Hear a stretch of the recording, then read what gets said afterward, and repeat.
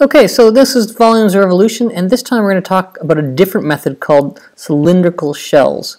And when we do it, we're always going to put the rectangles that are going to be parallel to the axis of rotation. And so I have this particular function here, and I'm going to rotate it around the y-axis uh, 360 degrees. So I'm going to go in this direction. And so what I'm going to do is I'm going to make my little dx. I want to take this area and rotate it around. I'm going to take this little dx, which is a really wafer thin piece, and I'm going to rotate it around, which means I'm going to pull it around as such here.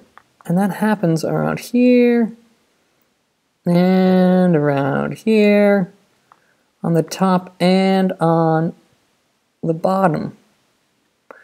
And so you get this little cylinder that would pop up in the middle. And that's why it's called cylindrical shells. And so when I find, what I'm going to do is I'm going to find, the, I'm going to take this and I'm going to open it up so that I have basically a rectangle, a rectangle that is opened up. I know that this particular area is equal to the length times the height. Well, that length there is equal to the circumference of this particular cylinder. And that radius here is just x. And so it's 2 pi radius, 2 pi 2 pi radius times the height, which is the height here. Well, the height of this particular cylinder is just equal to 2 pi x times my function f of x. This is the height. And so if I want to find the volume of all these, I take the volume from, let's say, 0 to 3 of all, I got to add up 2 pi times the radius times the height of my cylinders dx. This makes them wafer thin. And so now this makes it this particular area of volume. And so this method here will find me for cylindrical shells.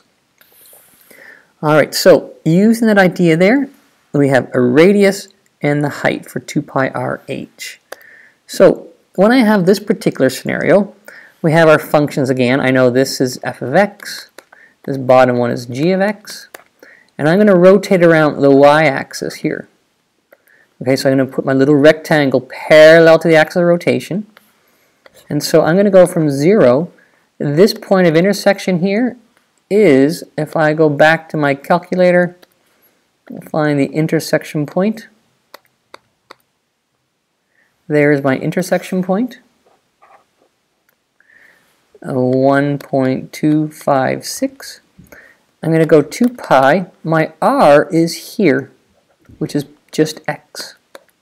My height, though, is this top curve, g of x, which is 2x, minus the bottom curve, e the x minus 1.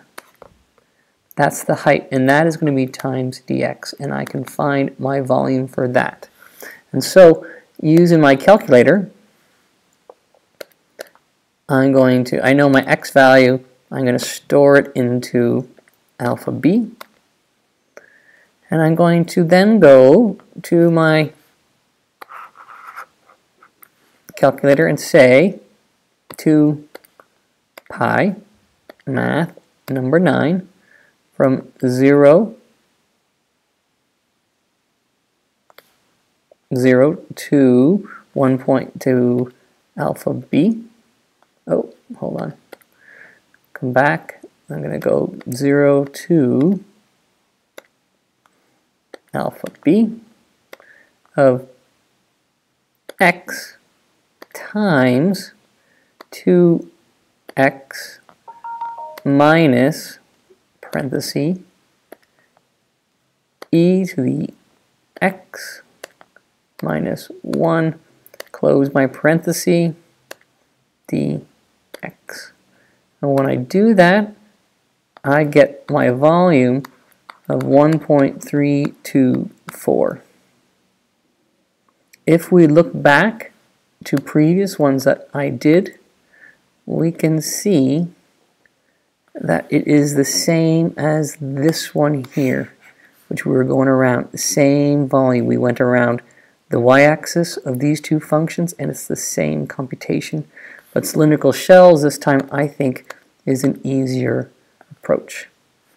All right, so there's cylindrical shells. So what we do is we take our volume from A to B of 2 pi times our radius times our height f of x dx, and that will give us the volume of a region.